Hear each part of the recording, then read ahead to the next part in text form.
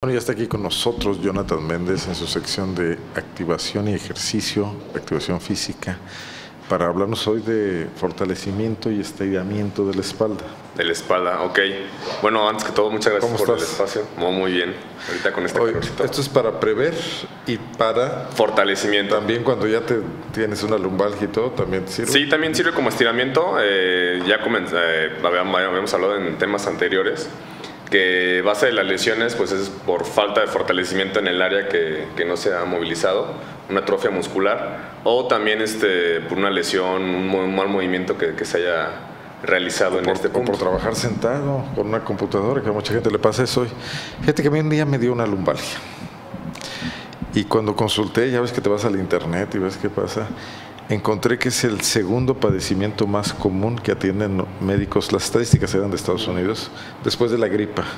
Sí, de hecho. después de la gripa a todo mundo le da un día en la vida un dolor de espalda baja. O... Sí, de hecho está dentro del 70-75% de las lesiones más, más este, pues, crónicas y las lesiones más patológicas que tienen los fisioterapeutas, que tienen los masajistas, que tienen pues eh, los profesionales dentro del ámbito de, movilidad y de, deporte. ¿Y cómo, cómo hacerle para prevenir? Bueno, más que todo ver qué tipo de actividad realizamos a diario. Eh, como mencionaba, cada, cada, cada qué tiempo este, pues, estamos sentados, cuánto tiempo nos mantenemos activos, cuánto tiempo nos mantenemos parados y qué, y qué, y qué movimientos este, pues, nos pueden ocasionar un problema dentro de esa parte de, la espalda. Recordemos que la espalda pues, está conformada por por una cantidad de vértebras. Eh, la parte lumbar es la que soporta la parte superior y la parte inferior de nuestro cuerpo generando un equilibrio. Y pues es solamente una partecita que, que tenemos que, fortalecer.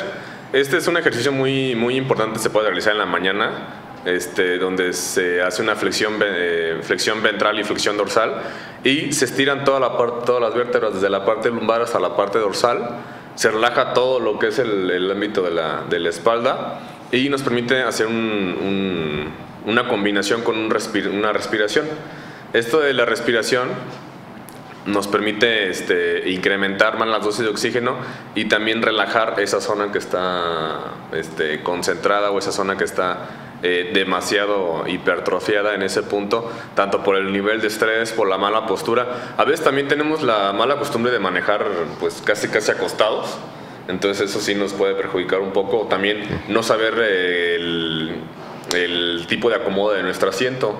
¿no? que a veces tenemos las rodillas hacia arriba, las rodillas hacia abajo, muy muy estirados, que los pedales nos quedan este, estirados, o es manejamos chuecos de, un, de una forma entonces también tener en cuenta eh, la posición eh, que se tiene, que, se tiene que, realizar. Entonces para poder manejar adecuadamente, tener una postura eh, correcta, debemos de mantener nuestro asiento, el respaldo recto, que quede toda la espalda eh, pegada al respaldo. A veces también ya algunos este, automóviles ya traen para, para adecuar a la, a la, espalda. Eso ya va a tener que ser, de, depende, depende Con soporte lumbar. Ajá, depende la, la, la persona. Porque pues, recordemos que antes mandaban les asiento así en, en, general. Estándar. Y algunos, pues como la mayoría de, los, de las personas de aquí de México somos chaparritos, no tanto como usted. No es mi caso. sí. Entonces ahí nos adecuamos que la parte lumbar nos quedaba en la parte dorsal, entonces estábamos todos chuecos. Entonces, eh, generalmente, pues si no tenemos una buena posición, pues buscar, no sé, un soporte abajo para buscar esa posición, un posición adecuada. Este, ¿Este ejercicio de qué se trata? Este ejercicio eh, nos puede servir para tanto para la parte eh, lumbar y también para eh, relajar un poquito lo que son el inicio de los glúteos, lo que abarca la, parte lumbar y la parte coxigia y el sacro, lumbosacro. Eh, nos permite también para relajar, eh, a veces nos dan el dolor del, nervio ciático, la ciatalgia, entonces este nos permite también este, lo que es la relajación. Este nos permite el fortalecimiento, como son índices cruzados, siempre para mantener un soporte. Este, tenemos eh, un índice cruzado, por ejemplo, el hombro derecho se, se, cruza con la, con la pierna izquierda. Entonces es un, es un medio de cruz para mantener una estabilidad. Si mantuviéramos una estabilidad recta de derecho con derecho, nuestro cuerpo se iría hacia, hacia, hacia, los lados o no tenemos una estabilidad como, como tal. Entonces, este nos ayuda a relajar. Este lo podemos hacer así en cuadrupedia, tanto apoyando la, la rodilla y la mano, como acostados. Entonces, acostados sería boca abajo, subiendo la, la, la mano izquierda y levantando el pie derecho, o viceversa.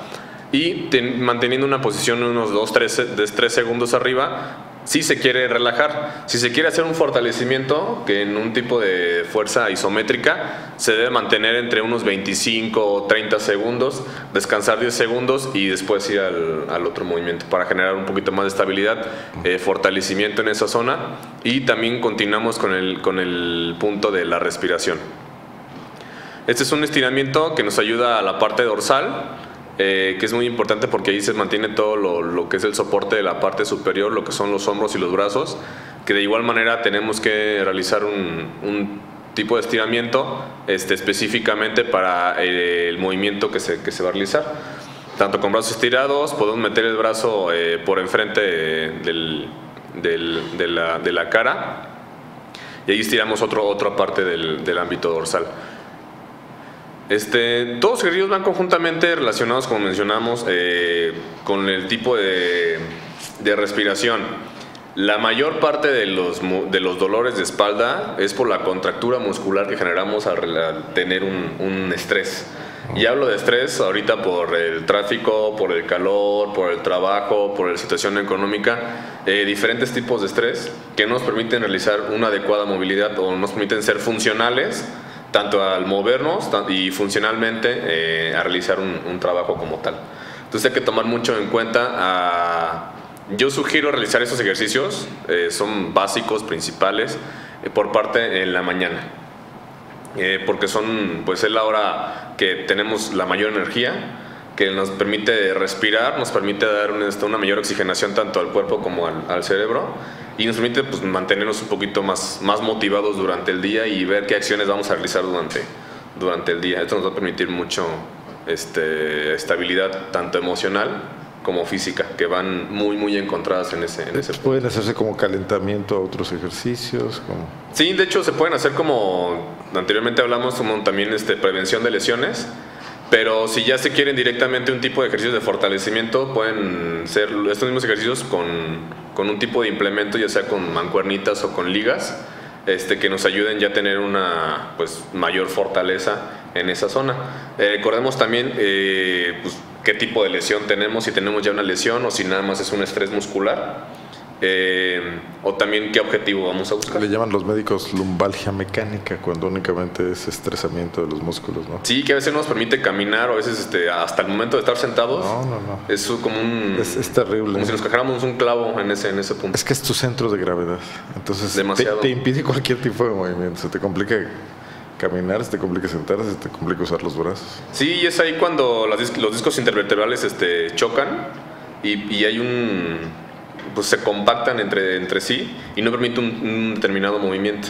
Entonces tienes que generar un esfuerzo máximo, tienes que generar este, un movimiento con otros músculos que al fin y al cabo, en lugar de relajar esa zona, está estresando más músculos de lo, de lo, de lo debido.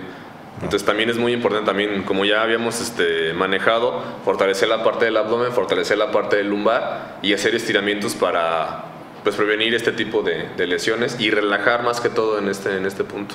Muy bien. Bueno, yo pues como siempre, gracias. Eh, es, una, es un mundo esto de la, de la activación física, de la prevención de lesiones, del cuidado, no nomás ir y correr un ratito y ya, ¿no? No, demasiado. Podemos ir por punto por punto hasta por músculo por músculo y es demasiado.